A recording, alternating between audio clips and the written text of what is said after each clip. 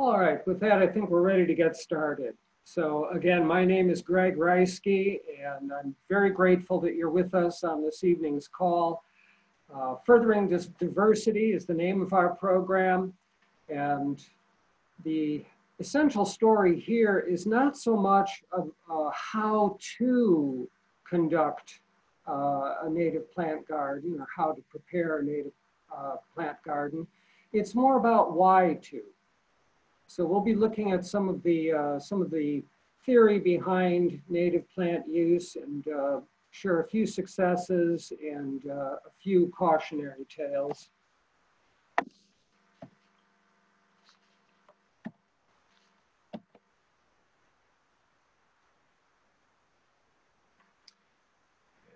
soon as I get my slides to advance. Uh, just a few quick acknowledgements. Uh, some of the organizations that were engaged in some of the projects that uh, we're going to look at during the slideshow, um, and some resources. Um, so notably the Wild Ones, and uh, I expect that many of you are members of that organization uh, and a number of the local chapters here in southern Wisconsin. So uh, Wild Ones uh, are a good resource for um, advice and guidance on use of native plants in the landscape, as is the Wildflower Preservation and Propagation Committee, which uh, is similar to the Wild Ones chapters uh, operating uh, just across the state line in McHenry County, Illinois. Um, I borrowed some uh, tips and ideas from the Habitat Project at YardMap org, uh, which is a, a, function of Cornell University uh, and the Nature Conservancy and the National Science Foundation. And it's worth noting that this uh, presentation was originally delivered to um, the Illinois Garden Clubs uh, about two years ago. So the subtitle of the presentation is how the use of nativars could undermine our efforts to garden for wildlife, for biodiversity, and for conservation. So we take our cues from nature. Um, I think all of us feel that uh, there's uh, tremendous beauty and uh, elegance and uh, inspiration in the natural world. So we take a look at what's out there in the wild and we think, how can we apply that uh, in our home landscape or elsewhere? So when we look at nature, we get ideas for what we might want to do in our own spaces. Nature becomes our design model, uh, and we become co-creators when we start installing native plants uh, gardening has always been an act of creation. And if we can partner with nature rather than work against nature, uh, we may be far more successful in, uh, in ways that we design and in ways that are, um, that are just by chance.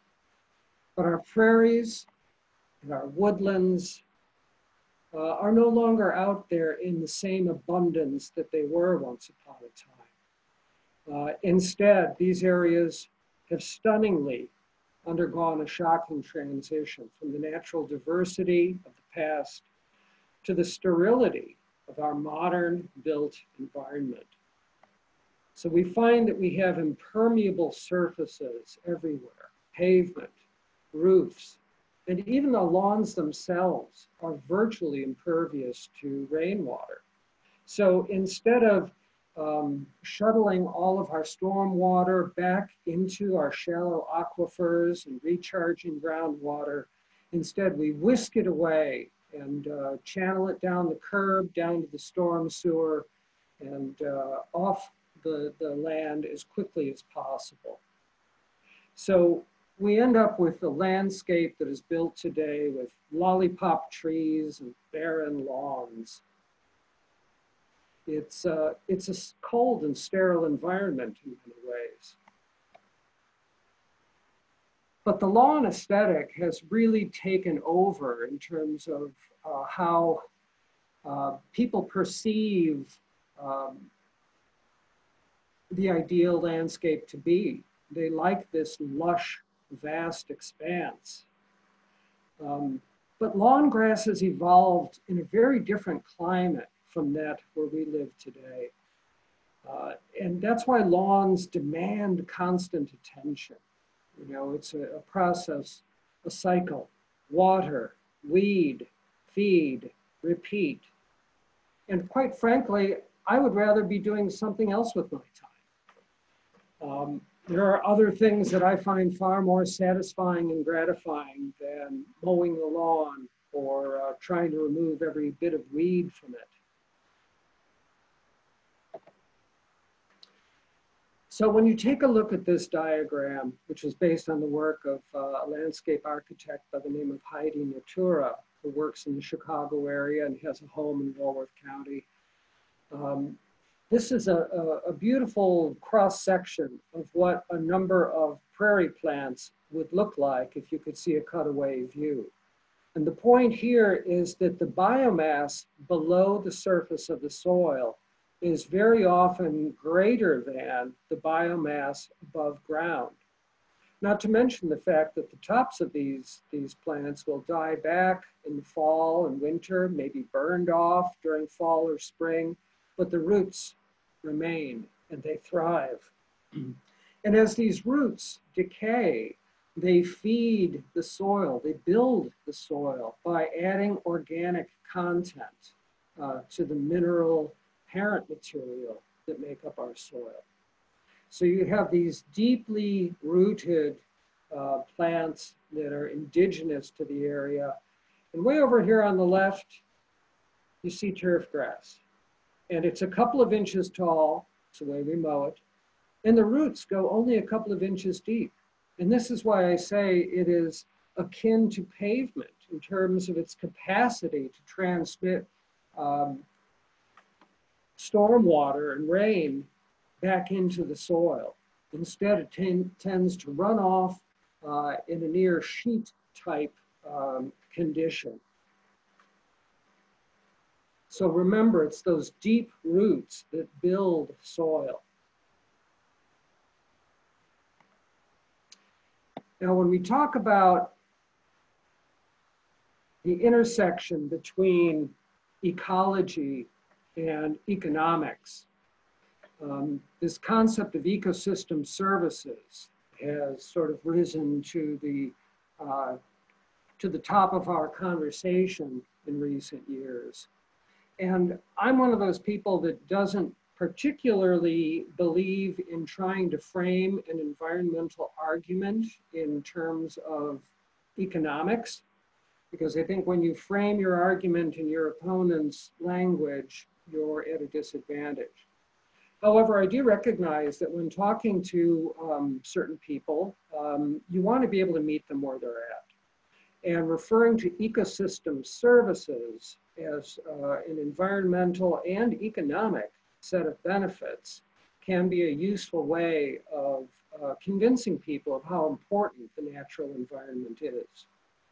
So essentially, we can divide our ecosystem services into four primary functions. Uh, those supporting services, uh, such as uh, you know, the cycling of nutrients and hydrology, provisioning services, you know, where we obtain food and fiber and fuel from nature. Uh, regulating services, you know, so where we're storing carbon underground or in, uh, in plant matter, um, where we're providing a, a, buffer against a harsher environment uh, by having a stand of, of natural ecological uh, space in between us and uh, the strong wind or the uh, loud noise. And then cultural services. So um, those things that allow us to educate one another, to learn from the natural environment, the beauty we find in the natural world, and the um, and the environmental ethic that we learn through uh, cooperating with natural systems rather than trying to fight against them.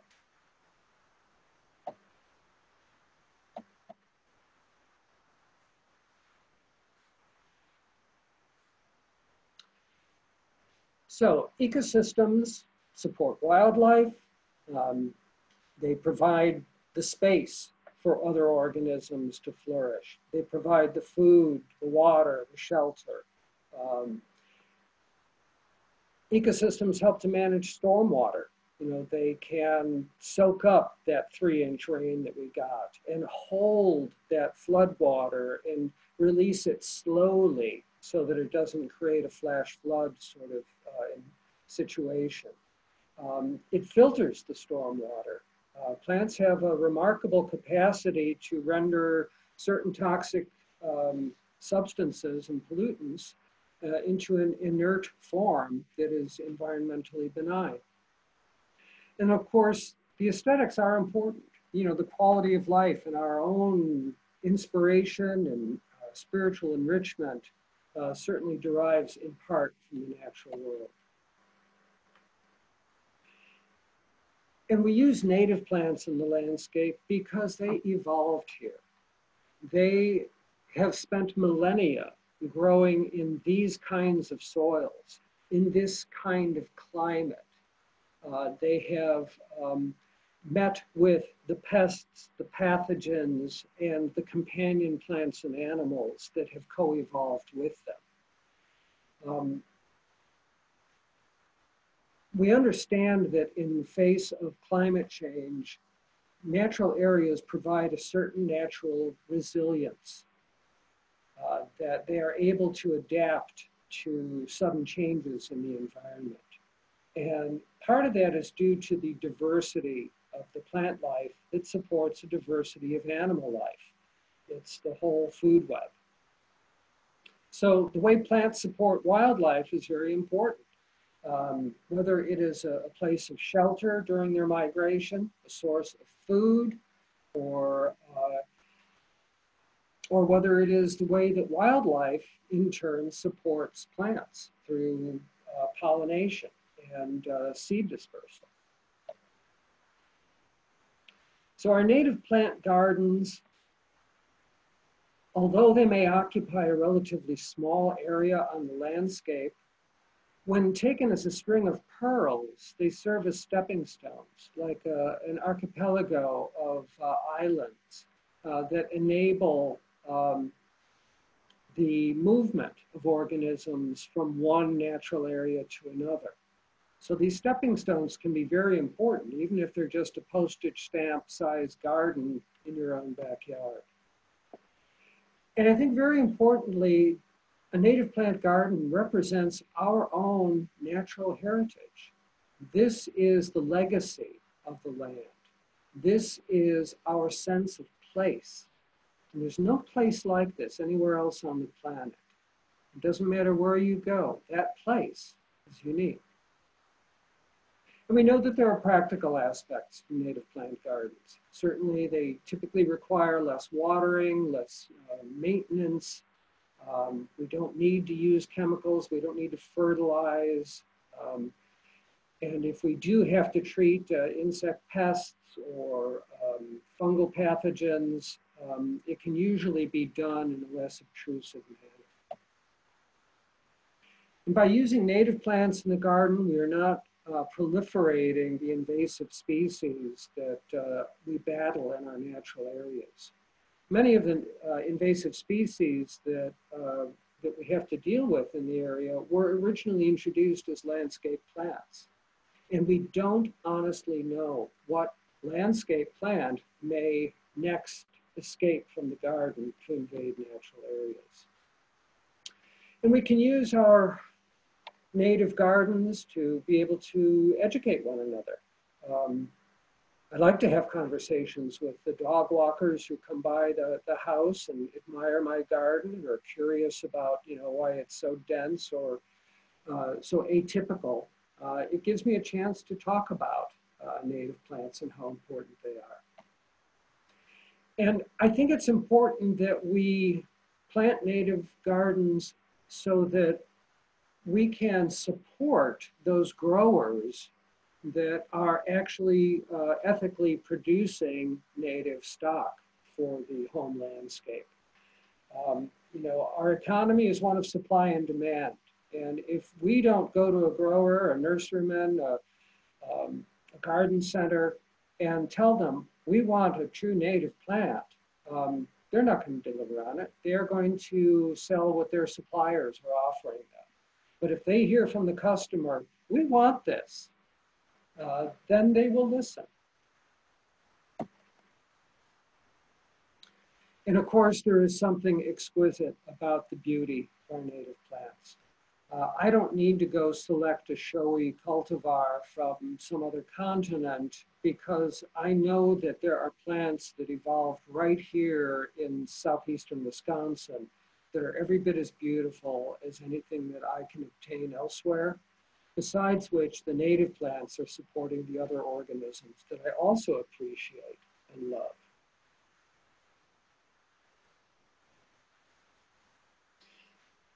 But when we talk about nativity, when we talk about a native plant, well, you know, what does that mean? Um, you know, it can be argued that none of us as, you know, um, human beings that um, derived from uh, immigrants who came here sometime over the past couple of hundred years, none of us are native to this region. Um, you know, unfortunately, the indigenous people were forced out uh, for the most part some time ago. Uh, so why would we care about native plants and what makes a plant truly native? Uh, and how long does it have to live in one spot before it's treated as a native? Uh, these are puzzling questions. You know, so what do we mean by native? And more importantly, what does that concept mean to us? How can we take that, use it, work with it? Well, when I talk about native and non-native plants, when I talk about invasive species, um, it's a complex set of notions to me. Um, but before we get into the, the uh, details of, of that story, I wanted to make sure we come to terms on some of the um, words that we use when we're talking about it. So um, here's just a quick set of terminology and, and brief explanations for each. Um, a clone is uh, a plant that is a identical to its parent, and it was, um, uh, and it comes about through uh, not through sexual reproduction, but typically through vegetative reproduction. And this can happen in nature. There are clones such as quaking aspen uh, or smooth sumac. Those are two of our native plants that reproduce as clones. A cultivar, on the other hand, is um, an artificial uh, breed. It is, it is done deliberately uh, through um, artificial means. And by artificial, I simply mean through the artifice of human action. Um, it doesn't mean it's fake. It just means that it was deliberately done uh, through, through human intervention. A hybrid is, is similar to a cultivar. Um, that is, say, cultivars can generally be considered to be a type of hybrid, uh, but hybrids often will occur in nature. Uh, for example, our oak trees uh, uh, are species that hybridize uh, prolifically. In fact, the hybrid between several different oak species pairs are actually formally named because they're identifiable in the field. But when we talk about a native plant, we really mean a plant that is found naturally in this area and uh, without human intervention. Uh, another way of saying it is that this plant that has evolved in this space or has expanded its range into this space without being aided or um, moved by humans. Now the term nativar derives from uh, native cultivar. And the term was coined by a horticulturist, his name is Allan Armitage. And it's a cultivar that derives in part from a native plant. It could be a hybrid or it could be a clone. And here's the, the, here's the rub. It's treated as, technically speaking, the same species as the native, but it has likely been compromised, either genetically or otherwise. And what that means is it may not perform all those same ecosystem services that we talked about. We'll explore what that means here in just a few minutes. Now, a plant becomes naturalized when it's been established outside its normal range, uh, but it can reproduce there without intervention. Um, usually that means that it has established itself as um, a well-behaved member of the community as opposed to something that's truly invasive that is um, run amok in the environment. So a non-native species is one that uh, is growing outside its native region and was artificially introduced, you know, whether that was done on purpose or not. You know, another word for non-native is exotic. So an exotic species is simply a non-native species, one that has been removed from its original habitat and introduced elsewhere. When we refer to an ornamental, we just mean it's a, it's a, a plant that is showy uh, and has been, been selected for those qualities that show well. Now, a synonym for a native species is what we call a straight species, or in the horticulture trade, they use the term. Uh, in natural areas management, we simply refer to them as native. But in horticulture and in, uh, in the nursery trade, they refer to straight species or wild type species. And that simply means that it's not been compromised by crossbreeding or hybridization with, with other uh, plants. Uh, a variety is one step down below a subspecies. And again, there are a lot of taxonomic classification details that we can get into, but this isn't really so much about classifying plants as it is about gardening. So we won't go into uh, a of discussion about that. So, and again, wild type, uh, repeating just again a, a synonym for native. Okay, so I started to mention this slide earlier before I uh, got into the, the uh, terms, the glossary, but one way I look at native plants is their relative stability in, in the uh, environment as opposed to invasive plants and their instability. So here you see Culver's root. This is a, a conservative native plant, Veronicastrum virginicum. It is, um, it shows a certain fidelity to certain kinds of habitats. It'll grow in moist prairies. It'll grow in savannas. Uh, but you're not likely to find it in an old field that has been badly degraded. It's typically part of a stable native community. It's a native plant, a true species. At the opposite end of the spectrum, here's uh, one of our bad guys. This is uh, common buckthorn, Rhamnus cathartica. It's a non-native plant and it behaves aggressively in the environment. You see the clusters of the ripe berries there. Uh, it reproduces prolifically.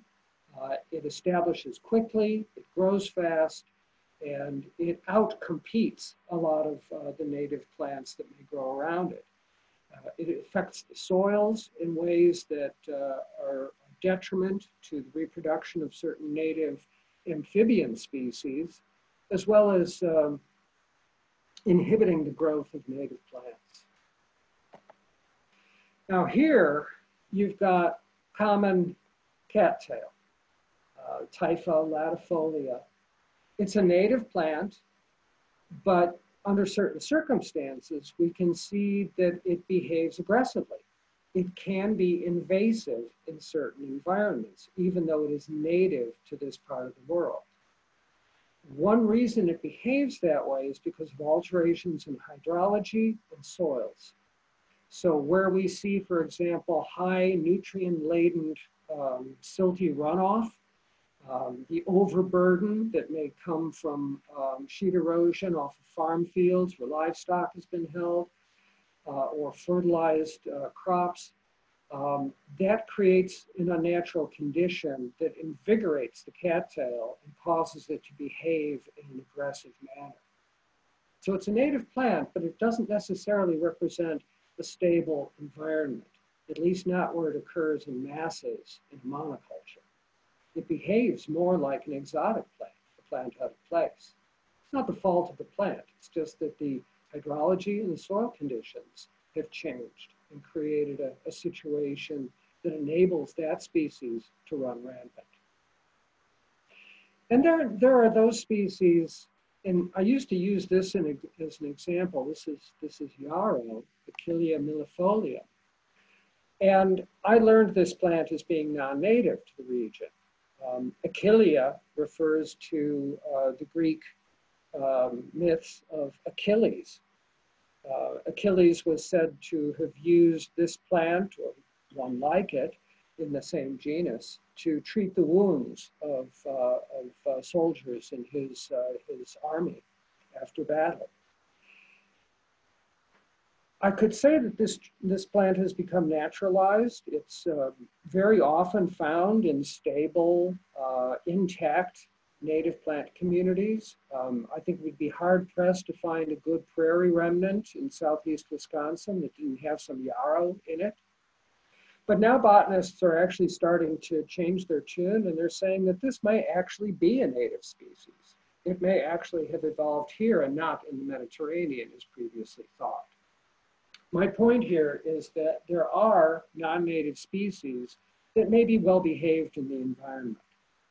So I'm not a purist when it comes to native versus non-native. I'm more interested in how well behaved a plant is, how suitable it is for its environment. And when I have a native plant available, I will definitely go that route. Uh, but not all non-native plants are necessarily uh, troubling in the environment. But nativars, that's, uh, that's, a, that's a sticky one. Essentially, anytime you see a plant label that may show a botanical binomial, it may show um, you know, a, a Latin name uh, of a plant you presume to be native to the region. If that label also includes uh, a name in quotations, you're dealing with a cultivar. So even if it is based on a native plant, uh, it may not be a true native. It may be a native cultivar or a nativar. And these plants can be troubling because people assume that they are just the same as a native plant. And they may or may not provide the same kind of ecosystem services that true native species do. Here, for example, in the center photo, you've got um, Echinacea pallida, which is the pale purple coneflower. It is native to dry prairies. Uh, in this part of the country, it is a conservative plant um, that is very attractive and therefore has come under the careful scrutiny of breeders who would like to maximize certain uh, aspects of this flower. So surrounding the, the uh, photo in the center that is of the true species, you see a variety of nativars, uh, none of which are true native species, but are all based upon the purple coneflower. For example, the photo in the upper left is a nativar called Cheyenne Spirit. And you can see it's multicolored. Uh, it, uh, you know, from yellows to reds. Uh, you don't have the, the droopy, um, you know, ray petals widely spaced as you do in the true species. And the one in the lower left um, is monstrous. It's a double bloom. And this is, this is called Supreme flamingo.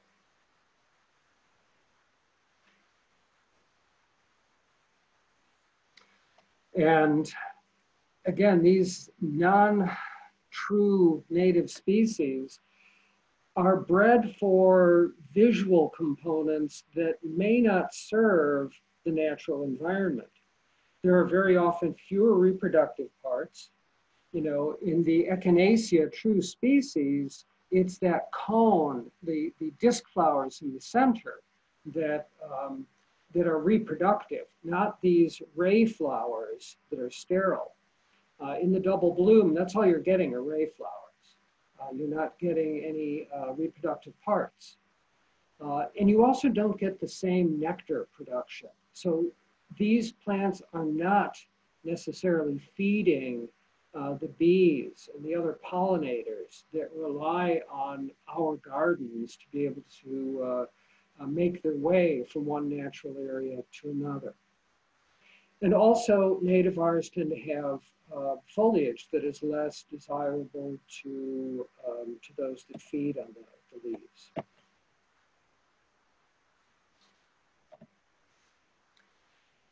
And insects do feed on vegetation. Uh, but when you have a nativar that is selected for variegated foliage, you know, the patterning of pale and, and darker green or, um, you know, green and white, um, you don't always uh, get the uh, same nutritional value. Typically, the, the chlorophyll-laden portion of the leaf is a, a little more nutritious. Uh, and it may be that an insect has to work much harder to get the same caloric intake. And it's even worse when the nativar is selected for these purple leaves, such as you see in this prunus um, cultivar, one of our cherry-based uh, uh, nativars. Uh, purple leaves contain a product called anthocyanin, and this is one of the uh, one of the chemical products that um, uh, shows the, the fall colors uh, of our, our autumn leaves uh, as the chlorophyll and leaves the leaf, the anthocyanins and, and, other compounds are exposed. But when they're front and center and they're blocking the chlorophyll, very often insects are not interested in eating this. And you know, when I talk to gardeners and they say, well, you know, I want to plant a pollinator garden, but aren't the larvae of these insects going to be chewing on the leaves? Aren't they going to be defoliating my garden? And I really like what Doug Tallamy said about that. He said, if you're concerned about the visual effect of these insects uh, eating the leaves, take 10 steps back and all your insect problems go away.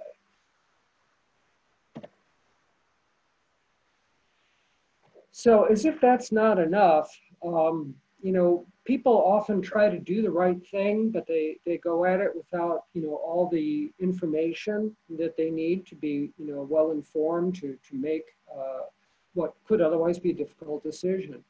So for example, um, people have planted this uh, exotic milkweed, Asclepias curassavica,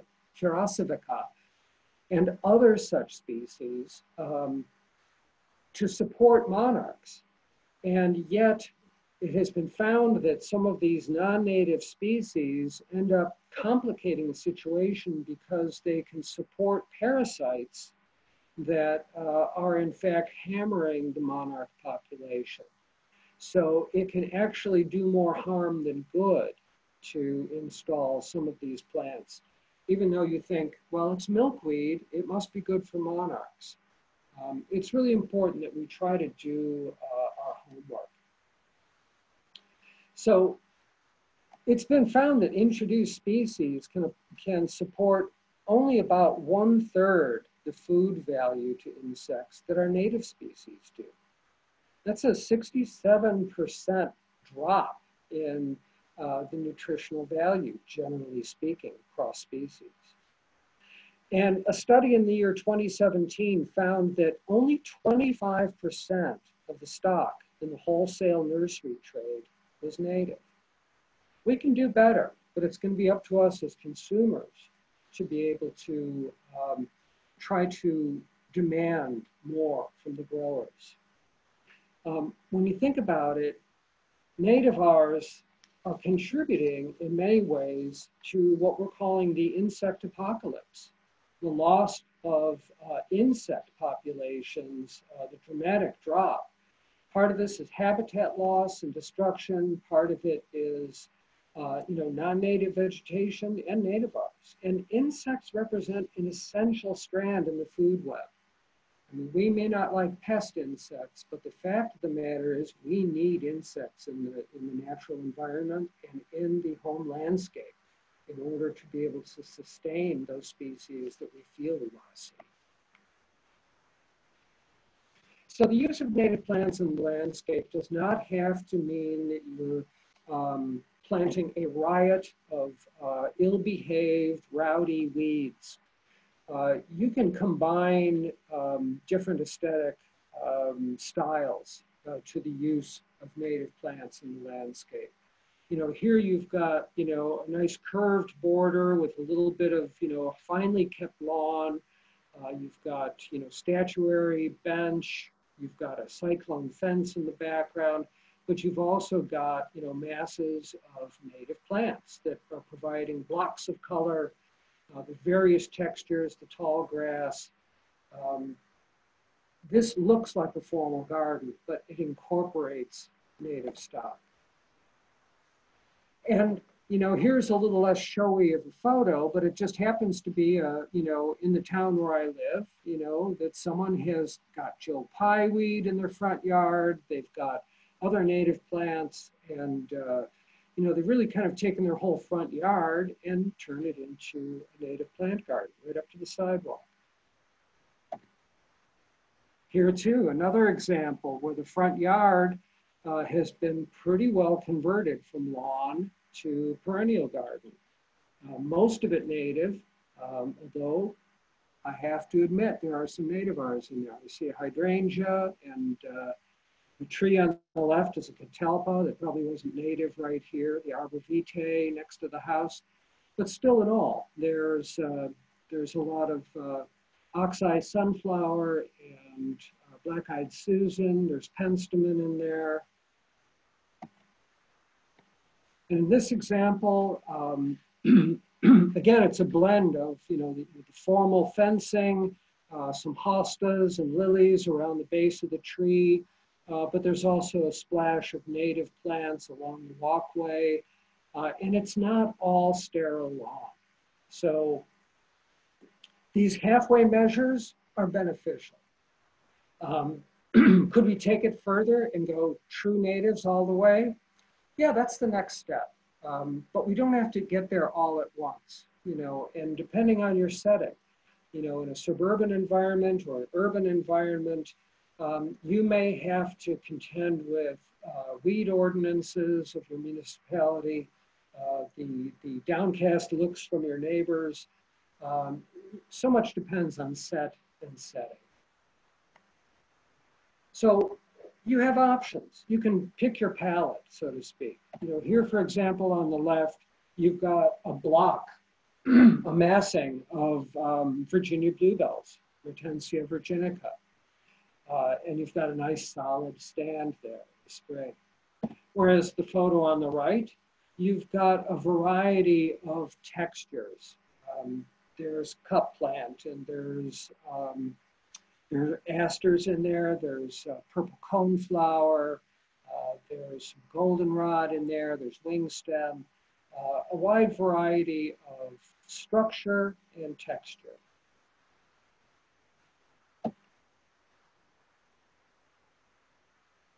So on the left, you've got a patio border full of asters in the fall.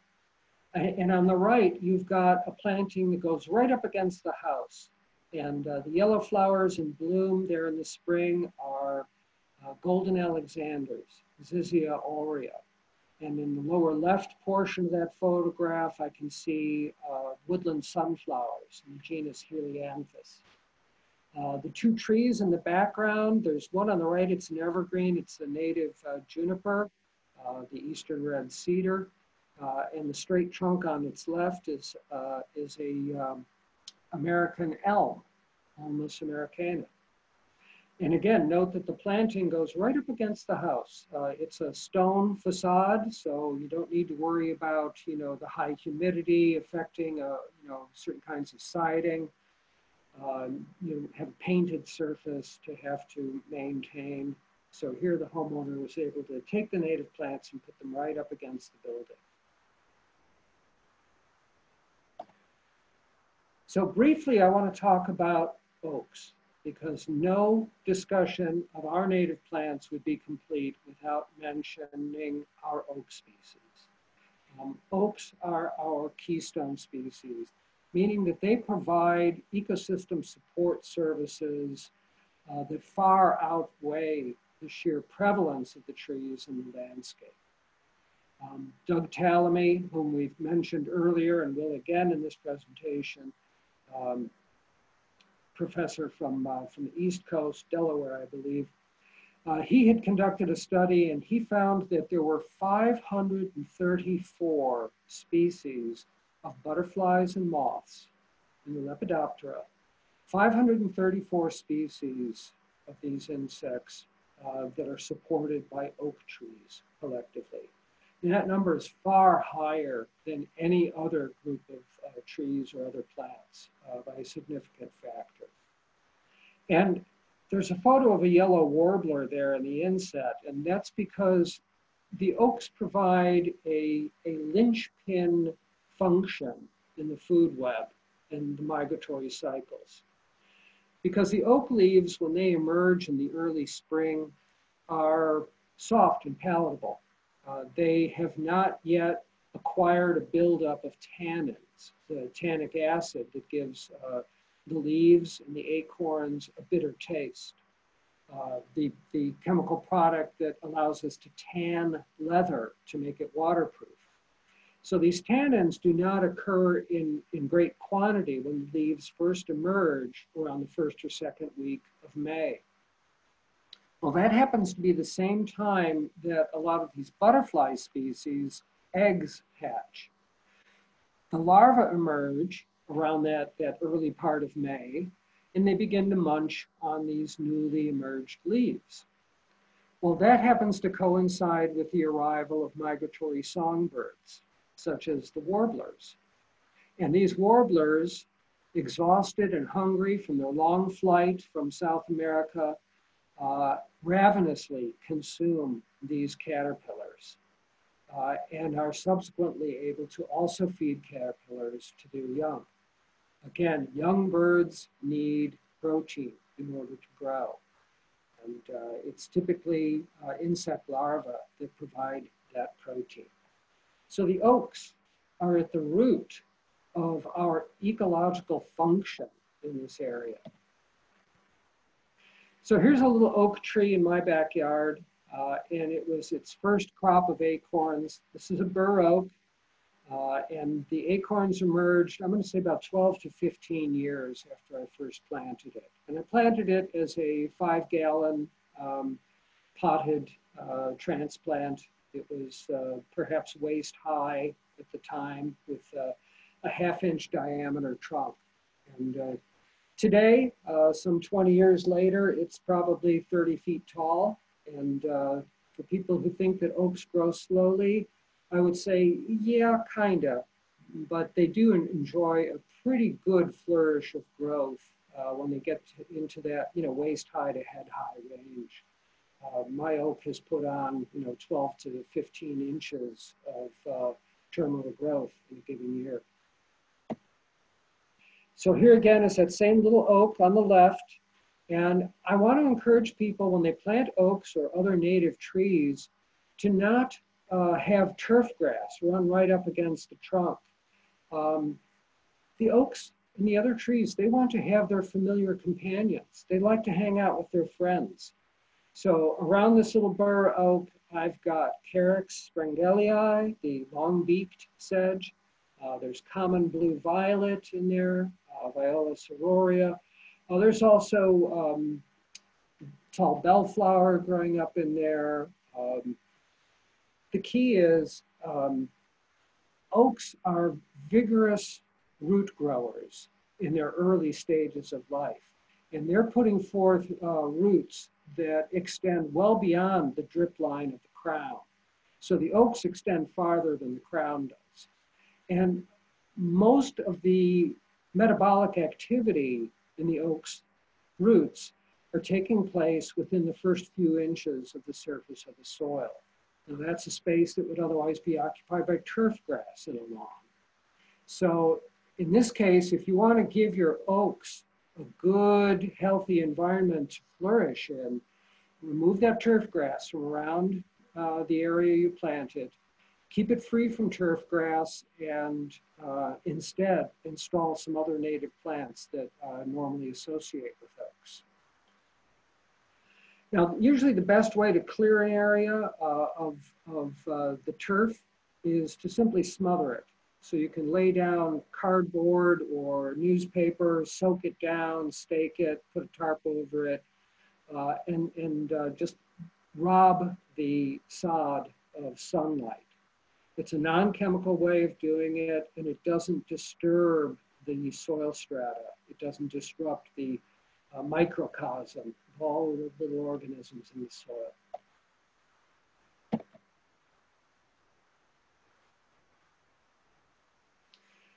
So here again, uh, I had mentioned the Carex sprengelii, the, uh, the sedge. Uh, here's another sedge on the right. This is rosy sedge, Carex rosea, a beautiful little star-like uh, fruiting structure. Uh, here it's growing with wing stem and Virginia creeper. on the left is a stand of silky wild rye in my backyard. Uh, and if you look in the lower foreground of that photo, uh, that's a white oak. So I planted a white oak uh, in the backyard as well as the bur. And it's a smaller tree still. It's, it was planted much, much more recently, just a couple of years ago. Uh, so you can see the ryegrasses uh, grow taller than the oak. Uh, but they grow well together. So companion gardening is a good thing. Remember that our, our, our native plants grew up together and they like to hang out uh, the Conservation at Home program is uh, one that uh, uh, encourages property owners to install and maintain native plants in their garden. Uh, I was part of administering that program in Lake County, Illinois, when I worked with a land trust there several years ago. Uh, and I participate as an enrollee in that program here in McHenry County, Illinois, where it's administered by the Land Conservancy of McHenry County. In Walworth County, Wisconsin, uh, the program has just been introduced by, um, by our colleagues over at the Geneva Lake Conservancy. So participants um, are paid a visit by uh, master gardeners, master naturalists, or other ecologists and are given some suggestions on how to manage stormwater, uh, where to install certain native plants, or how to remove or control the exotics or invasives. And uh, there's a scoring sheet, and properties that score uh, over a certain threshold are given a yard sign, such as uh, is being held here in the photograph. And it's simply a way of alerting your neighbors that, yeah, this is an intentional garden and it's doing good for the environment. Uh, on the left side of the photo, there's a white oak. That's another tree that I planted there in the yard about 20 years ago, and it's now easily 35 feet tall and a, a good foot in diameter. So um, if you stick with the property long enough, uh, you can start trees from pencil size and still be able to enjoy them as full-grown trees. So now I'm going to shift out of the home uh, environment to, uh, to a couple of school projects. And this is a public grade school in Richmond, Illinois, just south of the state line, where a pollinator garden was installed uh, by a, a local uh, consultant and a Girl Scout troop. And it's being maintained by faculty at the school. And you can see that they've They've planted carefully with, uh, you know, arranged borders. Uh, there's a border of, of, wood chips there along the driveway uh, to help define the space and keep the vegetation from, you know, hanging over the asphalt or, or being tempted to be whacked back by grounds crews. And then here's another school project. This was in Johnsburg, and this, this was conducted under a grant um, and several partner organizations were engaged. The, the Friends of Hackmatack um, applied for and administered the grant. Uh, Small Waters Education, not for profit, provided uh, plant material and um, certain amount of the site prep as well as the uh, planting design. True Nature Consulting provided uh, the rest of the site prep and training of the grounds crew in terms of maintaining the pollinator garden. And as part of the grant, uh, it was agreed that uh, the pollinator garden would be incorporated into the curriculum of the school. And this is a school that's uh, both a, a, grade school and a middle school. So it, it, uh, it, grades one through eight. And there are a couple of faculty um, champions who are using the pollinator garden as a teaching tool, uh, an outdoor classroom. Um, this is the design of the um, banner that was put up to, to uh, um, announce the project and to explain uh, the landscape changes we were making on the school grounds. I think it's a beautiful piece of artwork, especially because uh, all of the plants and the insects that are depicted are in fact uh, accurate depictions of natives uh, to the region.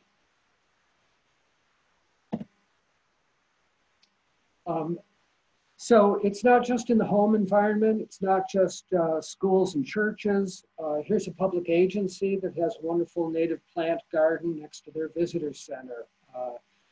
At uh, Glacial Park uh, of the McHenry County Conservation District. And there you can see they followed some of the traditional uh, guidelines where you've got the taller plants in the back. Uh, that's cup plant, can be a little aggressive, so I'll warn you about that. Uh, the blue is uh, spiderwort, the yellow is golden alexanders, the white is fleabane, there are grasses and sedges in there, um, I see compass plant off to the right.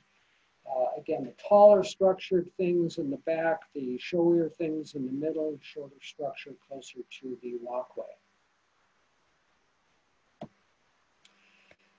Now, I mentioned a number of plant species by name, and I know that a number of you are probably rolling your eyes when I say them, because when I talk about golden alexanders or wingstem or cup plant, um, some of you may be thinking, well, yeah, those are native plants, but they're pretty aggressive in the garden. And you're absolutely right. Um, Golden Alexanders is shown here on the left, Zizia aurea. And on the right is a little bit more delicate or dainty uh, looking uh, species that is not dissimilar to Golden Alexanders in appearance. This is yellow pimpernel, uh, integerrima. And while the Zizia aurea is showier, it's also more aggressive. And the yellow pimpernel is less so. So if you're concerned about, you know, golden alexanders running rampant in your garden, consider an alternative. Now here's another opportunistic situation. This is tall bellflower, Campanulastrum americanum and it's growing up through a crack in the pavement. Can see it's right next to this garage structure. And uh, the owner let it go and let it go to seed. And uh, that uh, plant is now appearing elsewhere around the garage, growing in, in more suitable habitat. So you can say that the plant is resourceful, it's resilient, it's opportunistic. Others might say it's aggressive, it's weedy. So again, it's all about context. And you know what you put where, um, you know, will have an effect on how much thinning and weeding you need to do later. So here's another one that tends to be a little bit uh, aggressive in the landscape.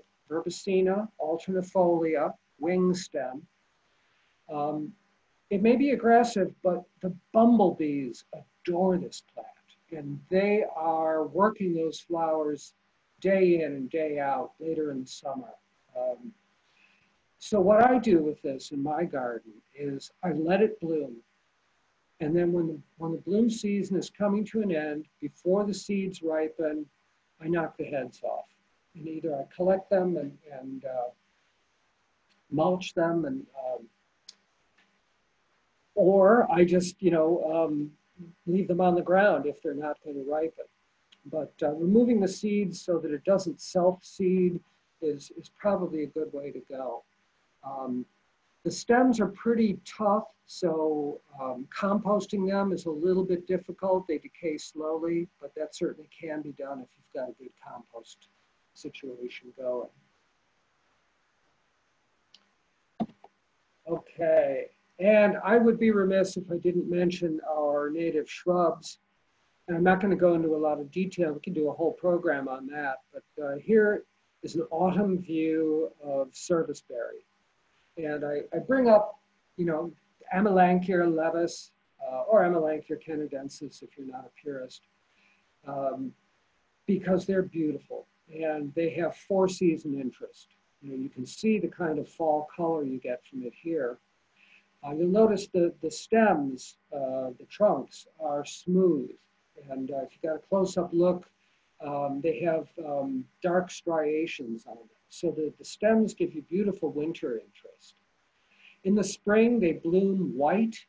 Uh, they're in the rose family, so they have the five white petals, uh, similar to, to cherries or rose, uh, I'm sorry, um, apples but the petals are strap-like. They're dainty, they're long and thin. And then this time of year, right now, they're bearing fruit, and the fruit is perfectly edible. Uh, it's good bird uh, forage, and uh, people like them too. You can use them much the way you would blueberries. All right, so we're going to summarize a little bit. Native plants do matter. And again, you can look at the landscape here and you can see that this is a comfortable and inviting kind of environment where the garden is occupied by native species. So where we have lost habitat, where our community sites are fragmented, um, where native islands of native species are, are separated from one another, um, the more we can introduce native plants back into the landscape, the more that we can knit together the natural areas that we value so well. So we can provide a little bit of additional diversity here in our own home landscape, and, you know, perhaps in our, our neighborhood churches or schools, even businesses, corporate campuses.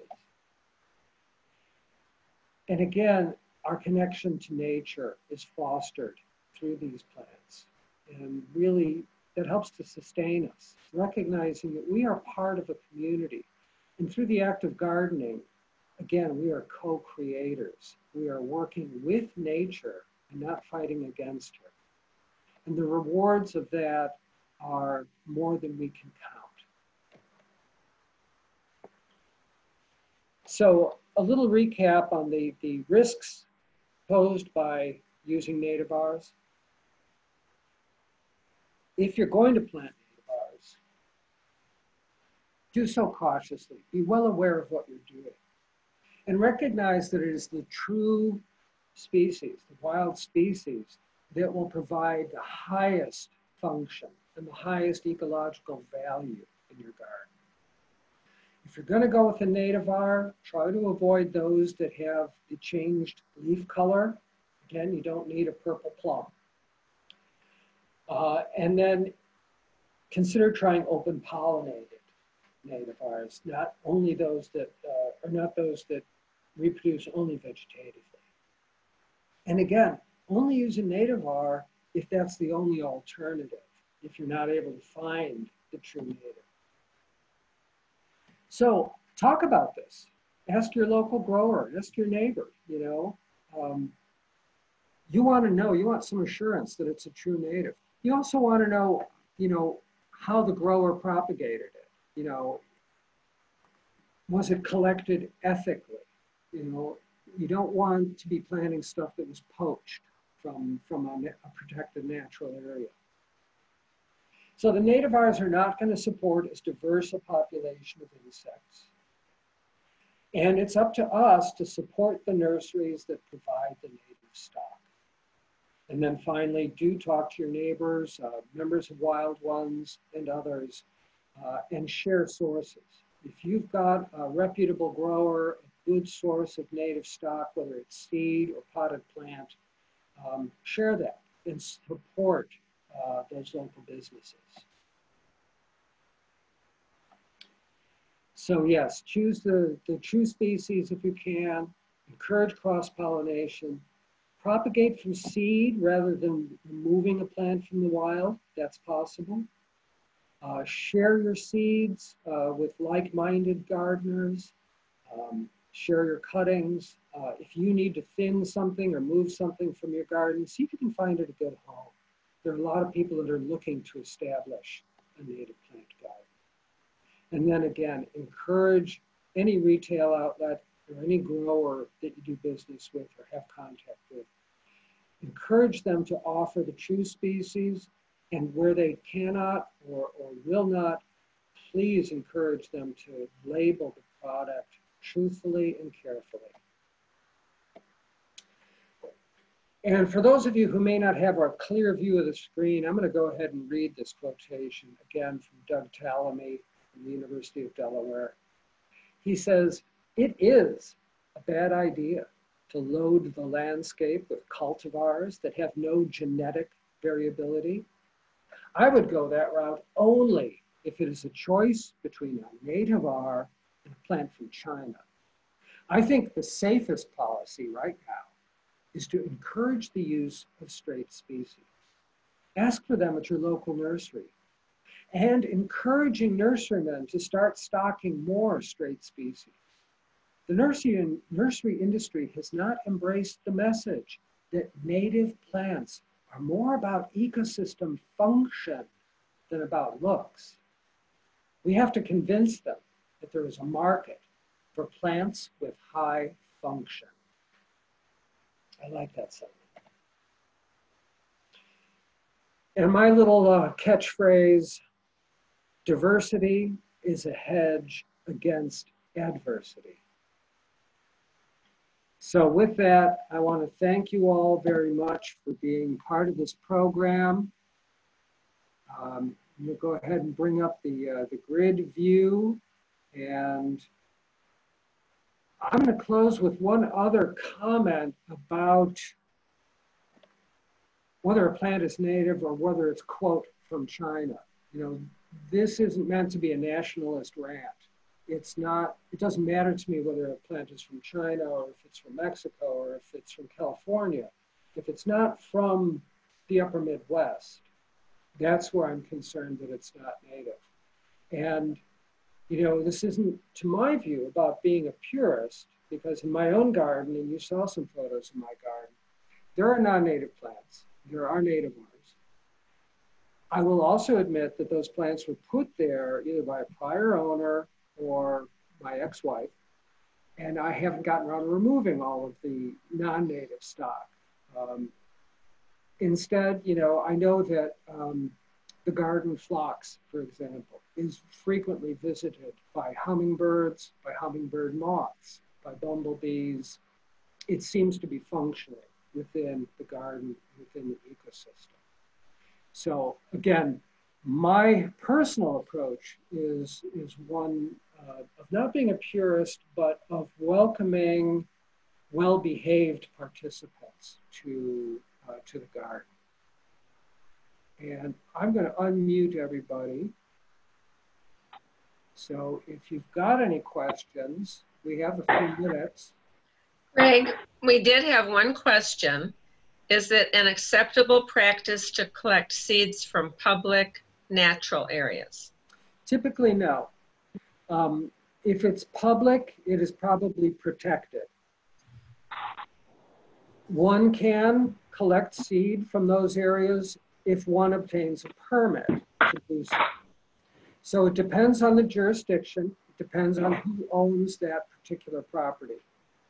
Um, I volunteer as a seed collector uh, for various agencies, um, whether it's the DNR or McHenry County or on county parks property or, or our own preserves. And, you know, typically that kind of work is undertaken either under supervision in a group uh, and the seed is given to the agency. Um, but there may be uh, provisions for sharing a portion of the harvest with those who volunteer. Um, certain um, individuals may, you know, seek a permit uh, under certain circumstances where they're allowed to go out and, and harvest on their own. Um, it really depends on the property owner. Ethically, if you're going to do seed collection, there are a couple of things to remember. And one is not to over collect. You know, if you're dealing with an annual plant, don't take more than 10% of the, of the seed. Uh, If it's a a perennial plant, you might be able to get away with 50%. That would be at the high end. Uh, Again, there will be guidelines in place according to the property owning agency or organization or individual owner. And if you're curious about seed collection, I could do a similar Zoom presentation on seed collection maybe later in the year. Charlene? Well, first of all, I want to thank you. This was really, really an interesting seminar. I want to thank you for putting it on. But I also wanted to tell you that I participated in the Conservation at Home program here in um, Lake Geneva. And it was um, very interesting. And I had a couple people come out and assess my little postage stamp yard. So I got my Conservation at Home sign, which I will be displaying soon. Congratulations. Yeah. Can I, So where, how did you get that? I'm just starting and I want the same thing. So where did you get this done? I didn't Well, you- understand. you need to contact the Lake Geneva Conservancy Okay, and uh, make an appointment, and they will come out free of charge. that would be wonderful because I'm so confused. But I want, you know, Yes, Geneva Lake, Geneva Lake Conservancy is using a couple of volunteers who are master gardeners, and they are conducting the site visits.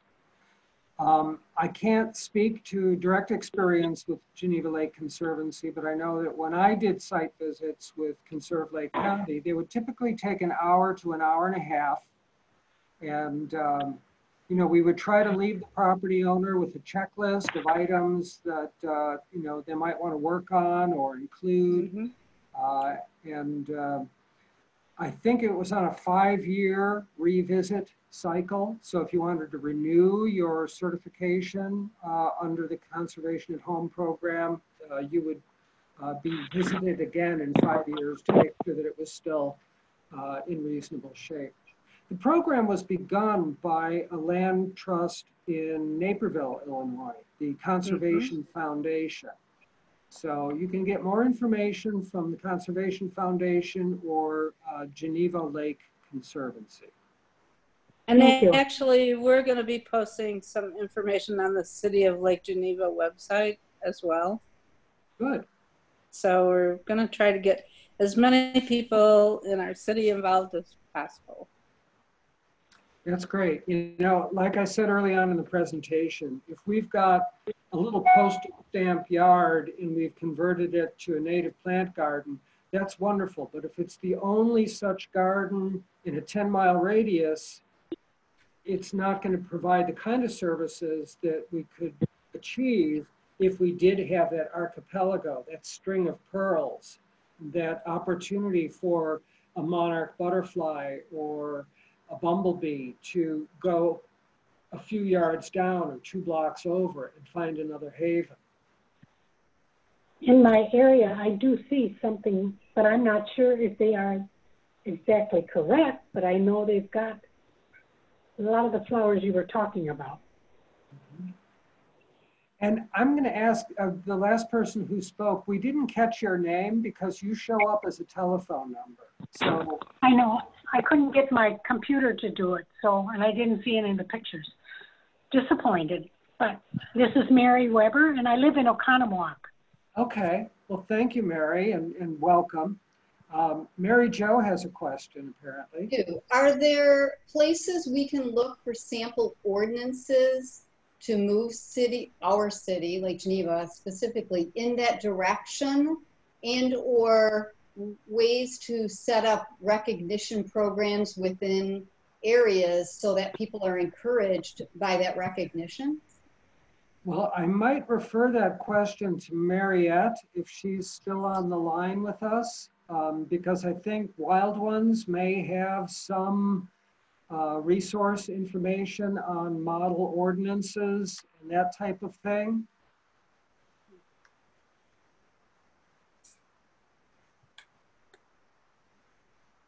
And it looks like we might have lost Mariette. So I would ask that you perhaps follow up with Wild Ones.